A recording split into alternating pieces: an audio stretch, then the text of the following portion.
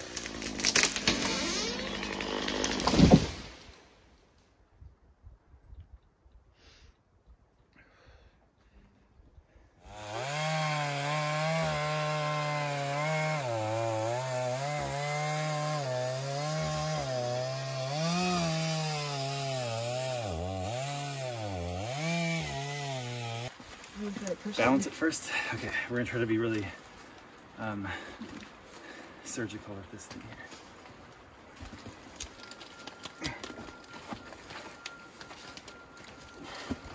I'm gonna just make sure that we have an out because right now it's gonna fall on top of it. Okay, push up. Let that go. Oh, no, no. Cool. That's pretty nice. Okay, let's tip it up on the top of those spikes. Okay, now I'll hold. I think you should go there and try to spin so we can kind of roll like a tire out of here. Okay, I'll hold it from hitting the bed. You push and roll over. Go. We're not done yet. Well, now you got room though. That's great. That's cool. Now the rain can wash it away.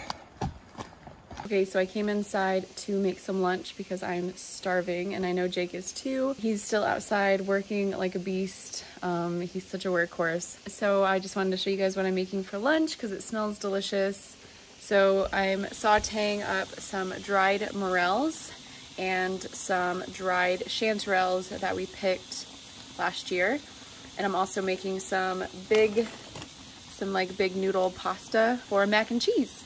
So I will show you guys what it all looks like at the end. The morels are like my absolute favorite mushroom and they smell so good. So I'm just gonna put that in with the mac and cheese and voila.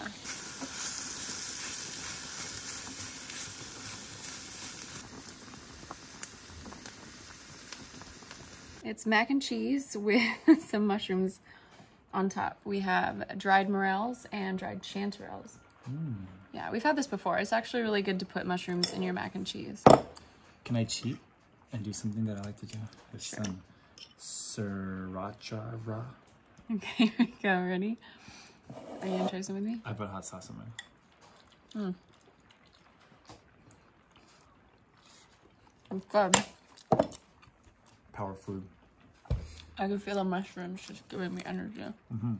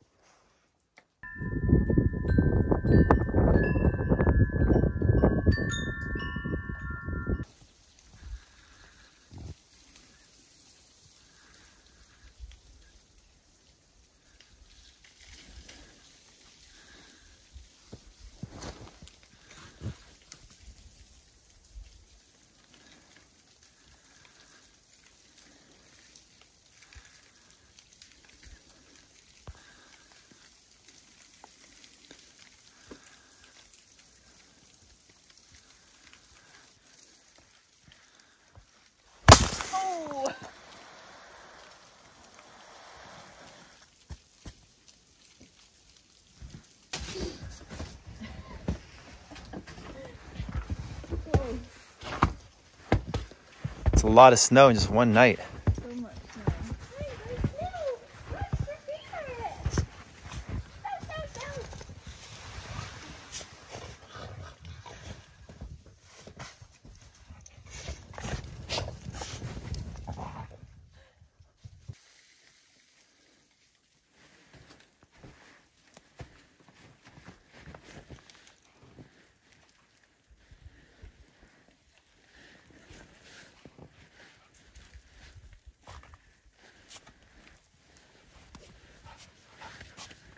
Are you ready?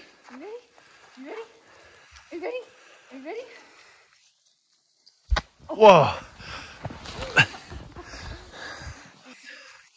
oh. Sniper. What? Canadian geese still training.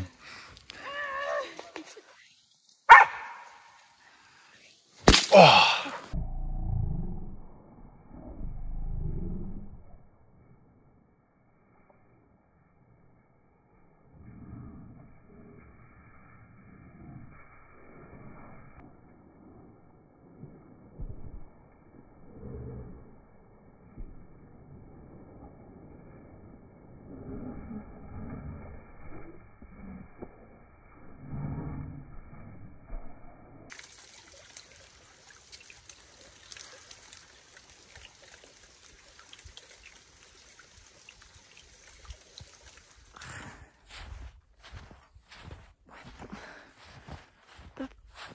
is this?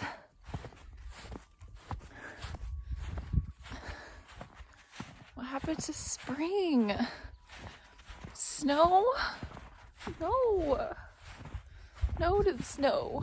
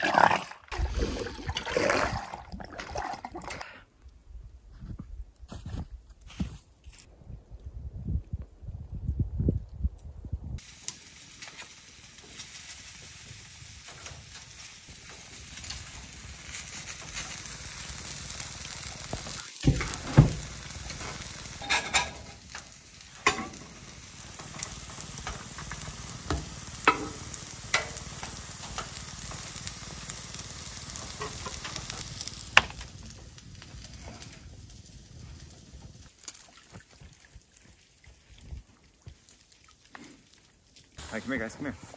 Sit. Puma. Sit. Here you go. Puma, come here. Puma, come. Puma, come here. Sit. Here you go. A snowball. He still got it. Look, we have another one. Look. Kai.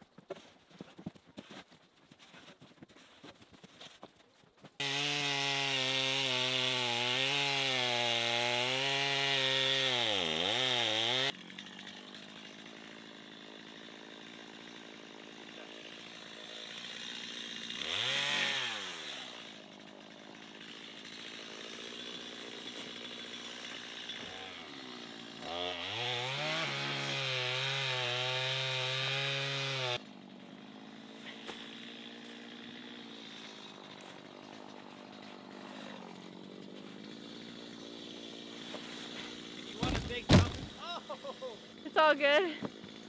Oops.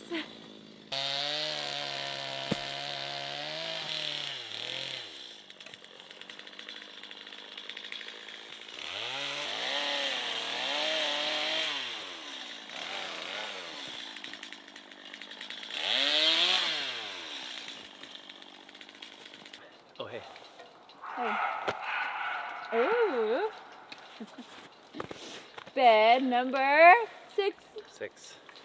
This one's gonna be sunchokes, aka Jerusalem artichokes, aka no, I'm just kidding. One purple, one white. Yeah. And there's snow everywhere, and we're falling, slipping, and it's really difficult, but we're doing it. Rain, snow, graupel, hail, sun All in one.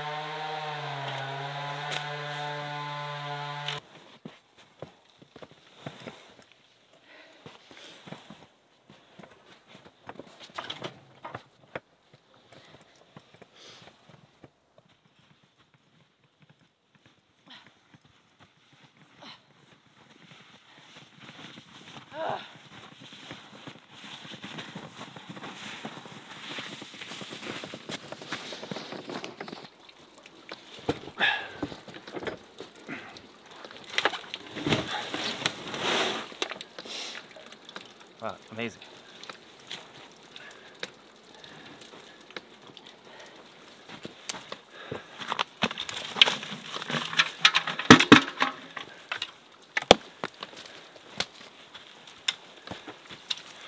This is the Jake and Nicole special Sunchoke soil. These are the the hard to find ones, the purple ones. Yeah. It's just the purple outside, and then they have the white on the inside, just like the regular ones. It seems like this last year we um had a lot more of the white, right? Yeah. So now we'll see if we can uh, fill up this entire bed full of purples.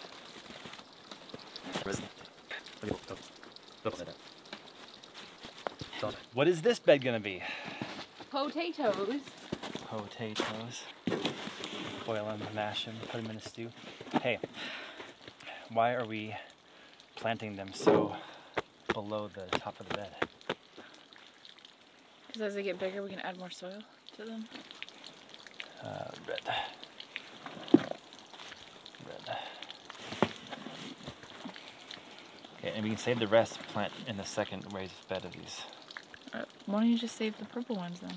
I love the I'm gonna plant them. So the goal is to have it fill up this way, but also have it fill down, and then we'll keep filling this in. And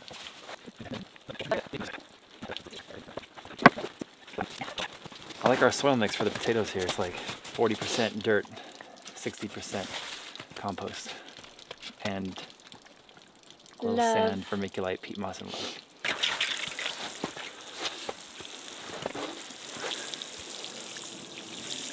Looking good.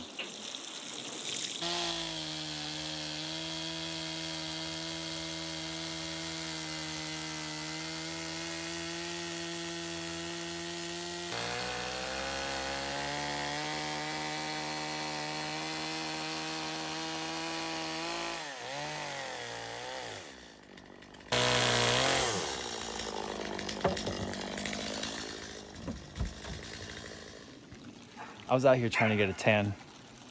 I'm lacking in vitamin D for sure, and it was so sunny a second ago, and now is this graupel or hail? What is this? It's little white balls.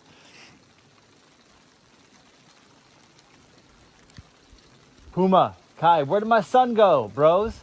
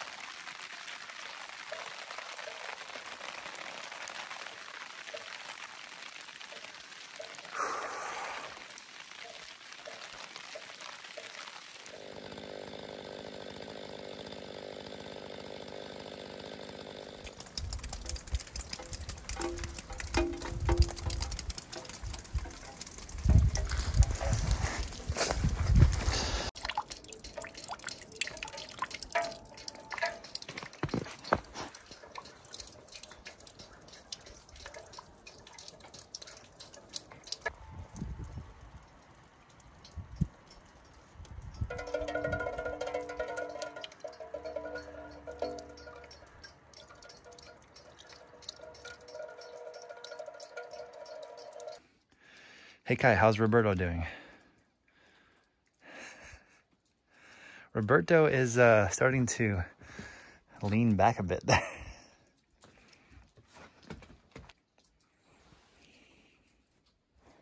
it's my jacket, bro.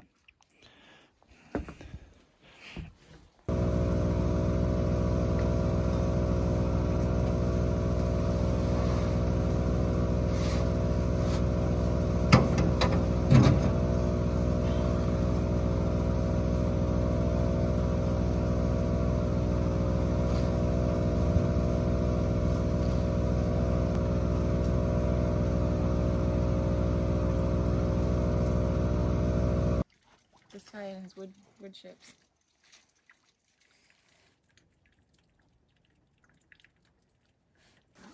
One, two, push. Okay, stop there.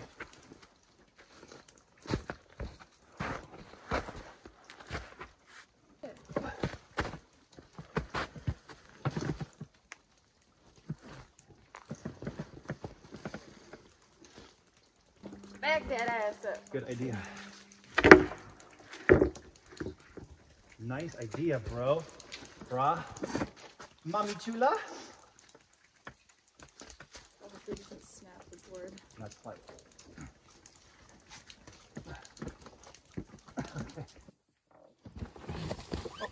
Oh, oh no, my come God. on. The whole board shifted on me. All right, that was 96% successful.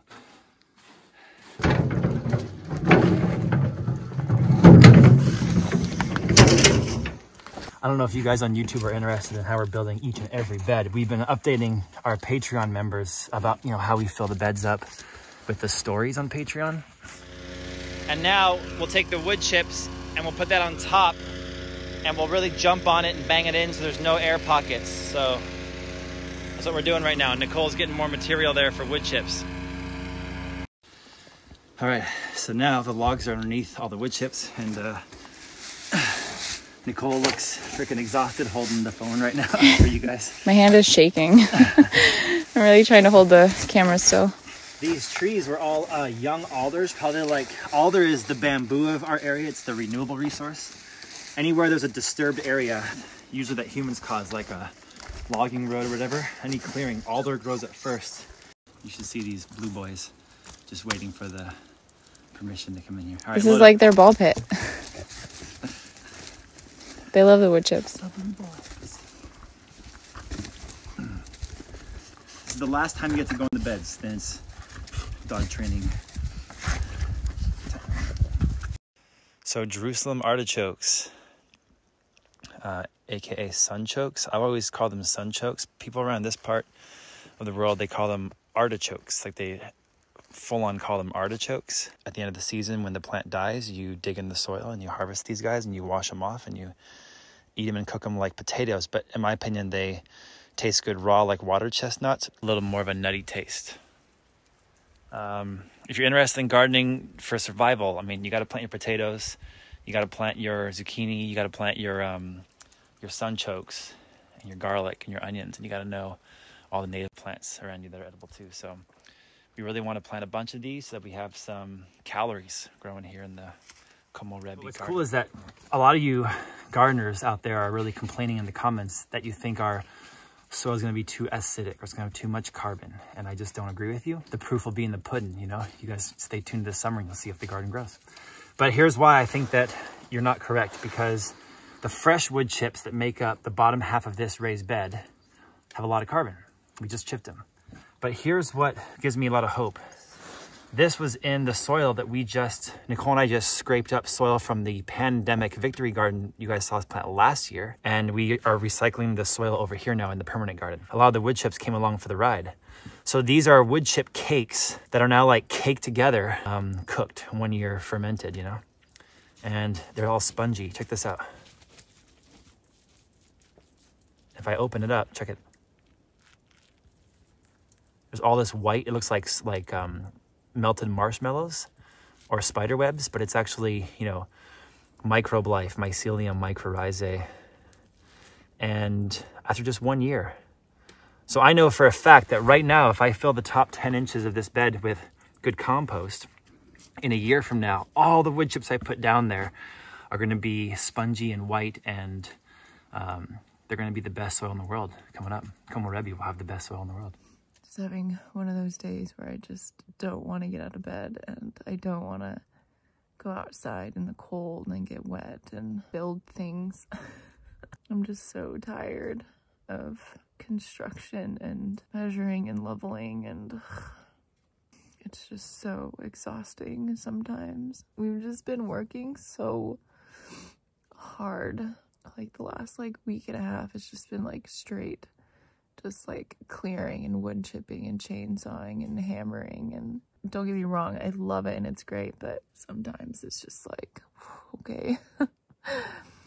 And then we're starting a new project today that is um, something i'm really excited about but i'm just like just wanted to be real with you guys. I just want to make this very clear I'm very grateful for my life and I love what I've created with Jake and what we've created and what we've built. And some days are just really freaking hard to get out of bed and do the work.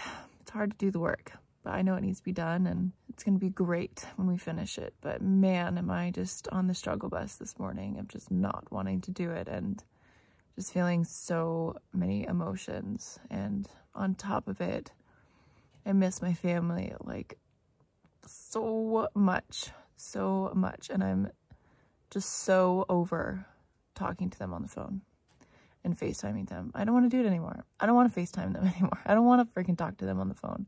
I want to see them in person and I want to hug them. It's just so frustrating. I miss them so much. I miss my friends. Anyway, enough of that. I'm sorry. Just trying to be real with y'all. That I have days too when I'm just feeling done. But I'm not done. I'm not even halfway to being done. We have so many wonderful and amazing projects coming and so, so much is happening. It's insane. you guys would be like, what? The projects that we have in line and the things that we've been working out and it's just amazing. It's so amazing and I'm so I'm so grateful. Okay. I got my cries out, which is good. It's good to cry. Talked about it, which is good. Talk to you guys.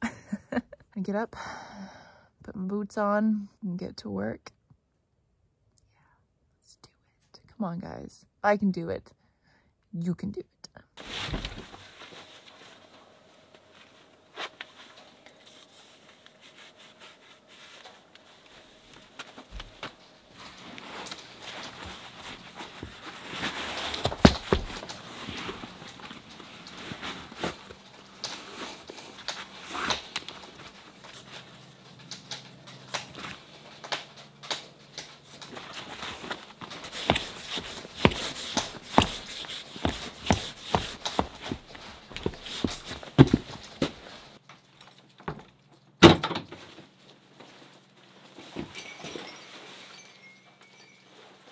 You ready, guys? You ready? Go do this. Come on. Good morning. You uh, ready for this next project?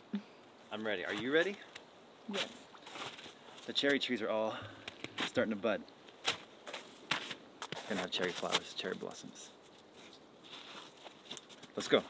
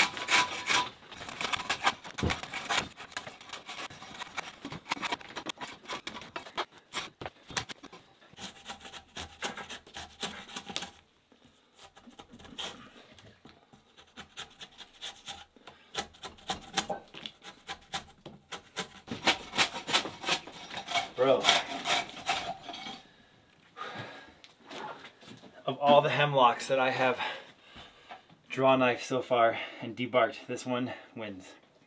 It's got some sort of pitch, some sort of sap and pitch in the bark. And just every square inch of it, it just is all caramelized and resiny. And none of it's coming off clean like the other hemlocks we did before you guys have seen us do. And it's just very labor intensive. But what I'm wondering is if I take all this, you know, pitch laden, resin bark and I put it in my dehydration trays and dry it by the wood stove, will this be like explosive, amazing, highly flammable kindling? What do you think?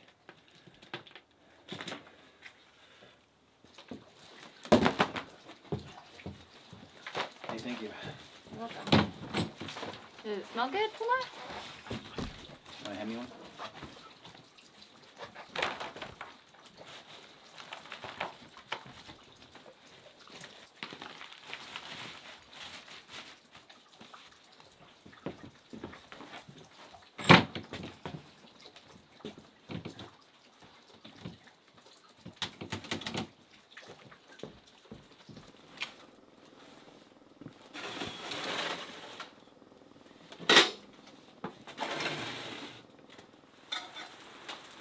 What's happening right now?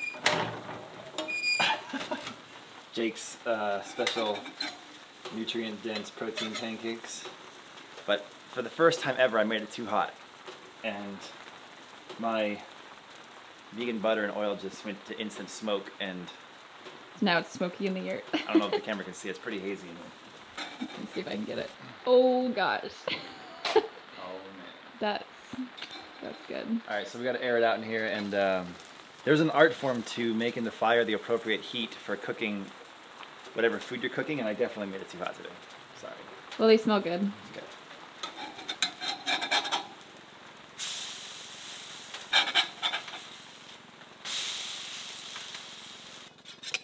Hey, a lot of people um, pay a lot of money for this smoky char taste from there.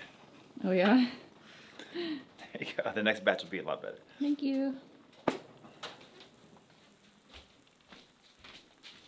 do we got? Goji berries, Yeah. sunflower seed butter, Canadian maple syrup.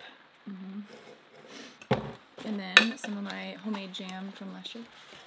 Oh, that's uh, what is it? Plum and apple jam. That's my favorite one you made. Honestly, it's so delicious.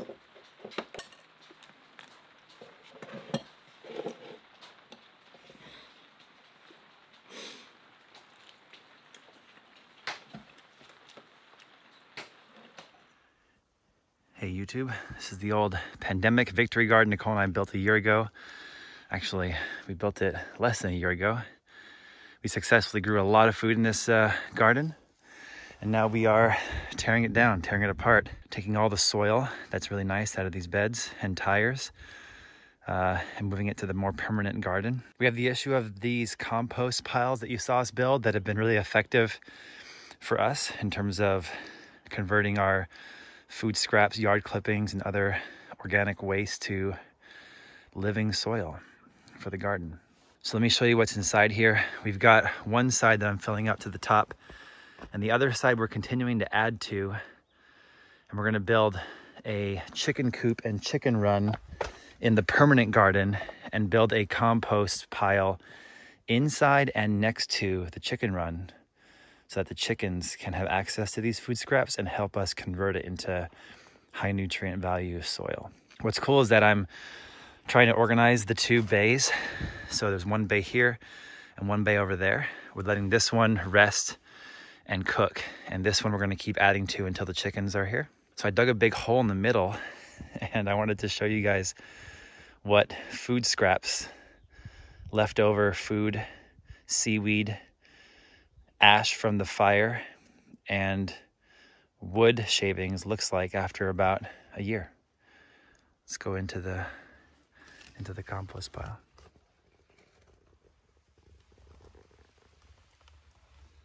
So here's the bottom, and it looks like nothing can be determined. You can't see seaweed, you can't see avocado peels, you can't see grapefruit and orange slices.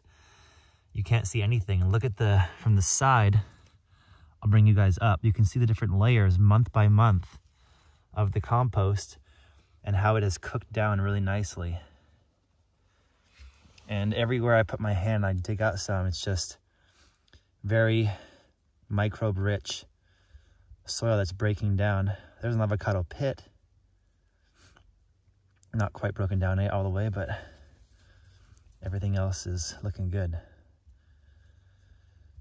Greens and browns, nitrogens, carbons, ash and the wood fibers are the carbons and the food is the nitrogens. And as we get uh, more area cleared, we'll have more grass popping up naturally.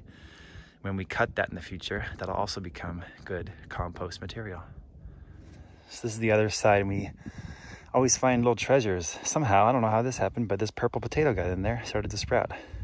So we'll plant him in the garden. And then we have lots of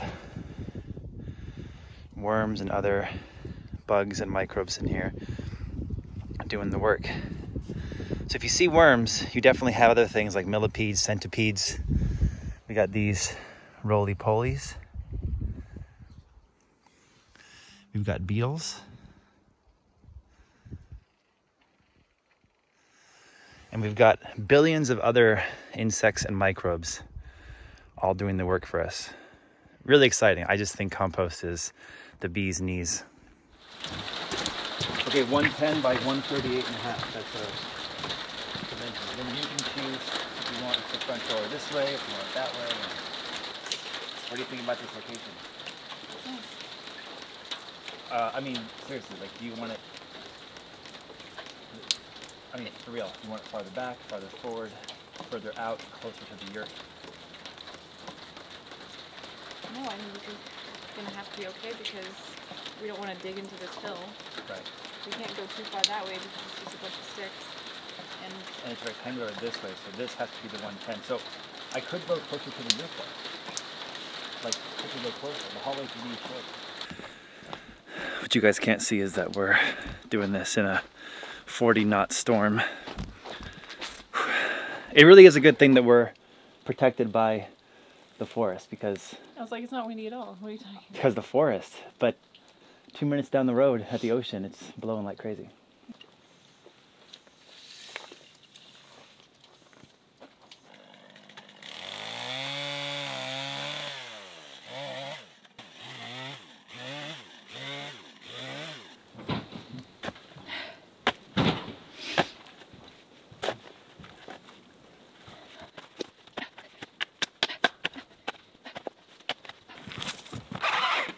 So, what is a bunkie?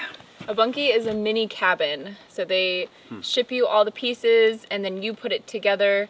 Um, so it's kind of like Legos for adults. And we, we did this. We had a big pallet of material just show up off the barge. We somehow got it to come over heavy, and we're going to put up this um, mini cabin called a bunkie, which is basically like tongue and groove, right? Yeah, so it's a tongue and groove structure that we're gonna put together, follow their instructions, and then that's it. Bada boom, we have our bunkie. But we do the, the, the foundation, we do the flooring, we do the roof rafters, we do the roof. It's pretty much the walls, the doors, the windows, and we do everything else. We choose to paint it or stain it. We drop the wood stove in it. We build out the inside. And so you guys are going to come along with us on this journey of building this bunkie. Our initial plan was to just make it into a bathroom because we don't really have a bathroom. We do have a toilet, a shower, and a bathtub, but For those of you who haven't seen, we got the bushcraft shower, the outdoor hippie hot tub, and the compost toilet outhouse. So I thought, oh, it'd be so cool to have our own bathroom that is like enclosed all in one um, building. But I was thinking the other day, how cool would it be to have a bedroom? Um, As most of you guys know, our yurt is just one big open floor plan. It's a big studio apartment. You have our bedroom, you have the kitchen, everything is open. So I thought, well, I would love to have a bedroom. Because Nicole and I are together 24 7 all the time, and we love each other, but it's nice to have that private space sometimes Yeah, if you want it. It's nice. It's gonna be nice, and I'm really excited. I'm so excited. I'm more excited than having a bathroom. Um, Like you'll be able to go into your bedroom, close the door, or open the door, depending on what you want to do. yeah, it's gonna be nice. And then we are cutting a hole through the yurt, Mm. and we're gonna do a hallway. So where Jake is standing is gonna be a hallway coming into the new bunkie slash bedroom. And this hallway will be. Wait, hold on a second. I feel very self-conscious being above you and high in this in this uh, switch fire drill. what is the hallway going to be? So the hallway is gonna be like a mud room. So instead of having all of our shoes and jackets and stuff gunking up the front door, we're gonna have it here. And then we're also gonna have a door coming into the hallway so then you can either go right into the bedroom or left into the yurt. So you can be in the bunkie and go into the yurt through this hallway, this connector, or be in the yurt and go into the bunkie with this connector. And now, what this will also do is it will allow us to take our closet, our bedroom, move it into the bunkie. We have so much more space in the yurt to do something. I'm already designing it in my head. I'm so excited. But we didn't build the bunkie itself on our own. We found this cool company called Sawmill Structures. You guys can look them up on Instagram or their site is all down below in the description. And this is their harvest model, which is just one floor. And we're gonna build it out to be a master bedroom, cottage, Pinterest, witches style in the forest, Yeah. right? It's so cute. I was so excited to receive it and to see how they did the door and the windows. It's just so cute. I love it. And their Instagram is really awesome too. Um, it gives me inspiration. And then we actually got a second one from Sawmill Structures, a second bunkie called the Hillcrest Loft. Yeah, the Hillcrest Loft because it has a loft in it. We have 17 acres here at Komorebi, and we walk in the acreage. We've decided that there is one part of the acreage that is the sunniest place in all of Komorebi, which is worth its weight in gold here because this is the rainiest place on earth where we live. Yeah, and a lot of trees. And a lot of trees, so to get a sunny spot is key, and you're gonna put this Hillcrest bunkie in that area. Yes. And what is this structure going to become?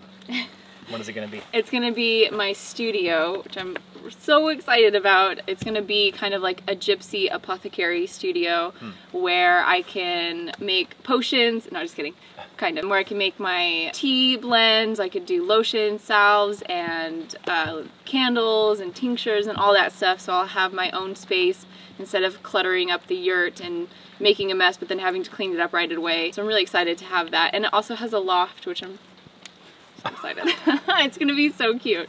Gypsy Apothecary. Yeah. So this first bunkie is our maiden voyage, and then we'll have it down when we build the second bunkie. Yeah, I'm so excited. Which is I get a bedroom, you guys. so follow Sawmill Structures down below and let's stop talking and like get back to work. All right.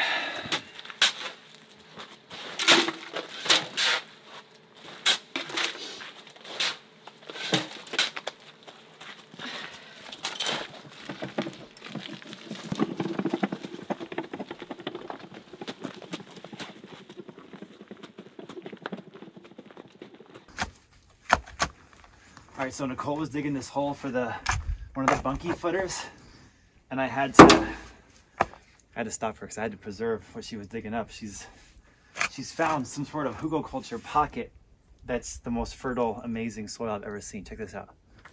Like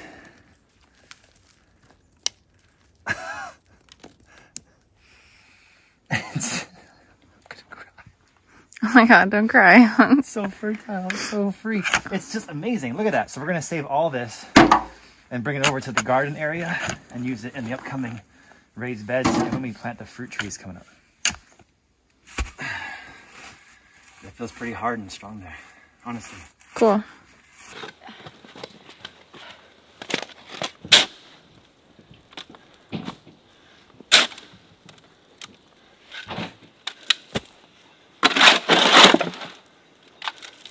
Hey, you wanna hold the tape measure for me? Let's double check it. Okay, 138. You're in the center there? Yep. Okay, next. Okay, that's nice. Okay, that's perfect. Bullseye. Bullseye. One more. Let's concrete them in. All right, last step for the day. Gay wall. Chin gay wall. Sit. Sit. Go home. Go home. Sit. No, go home. Sit. Okay, come. Sit. Good job. Big old piece of bread. Cheer me on, babe. You can do it. Take Mix it, mix it. Thanks. Mix it, mix it. Mix it good. Mix it good. Bum, bum, bum, bum, bum, bum, bum, bum, bum, bum. Ah, mix it. Mix it. Ah. Mix it real good. I'm gonna spin it. But not that way. Turn it 90 degrees.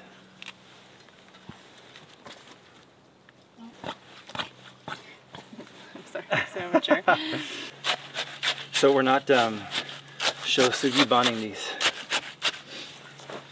And I didn't think it was necessary for a few reasons. One, there's gonna be a roof over this entire structure keeping the rain off these posts forever, right? Yeah. The roof's gonna have an overhang. It's gonna keep all this dry. Second of all, it's the highest point of our property. Everything drains out here. It's not a flood zone at all. Third, we did debark them and they're going in concrete. And the concrete itself keeps them drier. So there you go. There you go. There you go, kids. So those are the shorties, right? Yes. Here you go. Put it on there. Let's see what happens. Woo! Good job. Little. Dad did. A beast.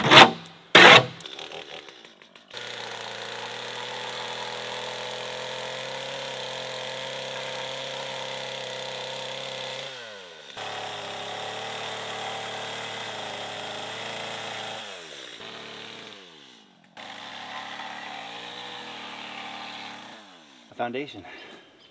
Wait. Ooh, I like it. All right, let's uh, unwrap the full bunkie and build it up. But we still have to finish doing the bottom. Yeah, we gotta block it, but I'm just keeping myself positive. Okay. yeah, we still have to cut the post, make them level, and then start doing more of the frame, and then bada boom. But I can already see how it's gonna go. Okay, so it's pretty big actually. Probably does. the bed will probably go in the middle here because the door is gonna go. He- the door is here. The way that's set up is like, where's the door? It's kind of off center. The door's there. There's a window here. It's like uh, double windows. the double window's on this wall, Oh, okay. and then that's it. And then Hey, so I just dumped this compost you saw me dig up in the garden bed here, and I'll put it in one of the new beds that I'm uh, building right now with Nicole over by the yurt. But look at these clods in there; they look so good. You like break them up, and they're just really amazing soil. This really is like 40 years of trees just broken down.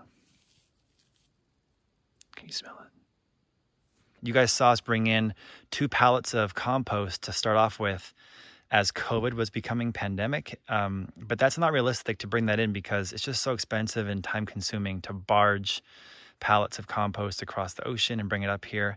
So we got to make our own, got to make our own. So look at this right now. I was working on this in front of you guys. I've now got this side all finished off and I layered some composted mulch on top. Mmm. It's like insulation. Now it's just cooking underneath there, cooking. And back there, you got my ace in the hole. I got 110 fruit trees that I've slowly brought here to the property over the last two years, bit by bit. A lot of biodiversity over there. If you guys subscribe and follow our journey this spring and summer, you'll see us plant all these in the ground. Everything is edible and medicinal. Of course, so many different varieties. And we're just really excited because uh, I'm not a big fan of gardening in pots. I like to put it in the ground. I just can't wait to get all these guys growing. Pine nuts, walnuts, almonds, hazelnuts, apples, cherries, pawpaws, plums, lots of blueberries. Let's go, guys. Let's go.